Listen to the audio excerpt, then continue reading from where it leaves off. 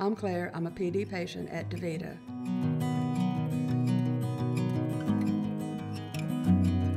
Claire had no clue that there was any kidney issue whatsoever. How did I get here? How did it happen? I mean, all of a sudden I was told I was going to be on dialysis. It was shocking.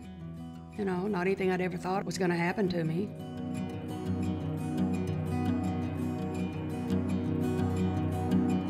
My friends would come by when I was on hemo. People would pop in, then they would leave, and I would think, oh man, I want to go. When I met Claire, I saw that she was uh, very active. She had a lot of hobbies, and um, she was very energetic, and she wanted to return to that lifestyle.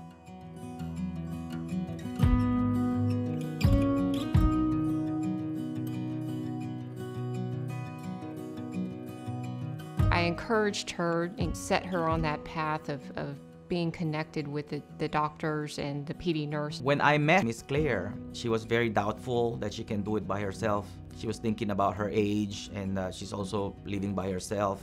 She's also very fortunate because she has this uh, BFF friend, Miss Sally.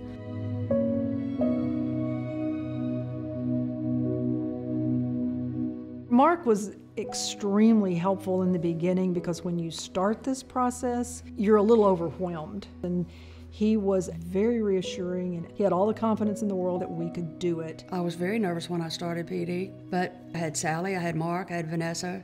The support team at DaVita, they were just great. I mean, if I had any question, I felt comfortable going to any one of them.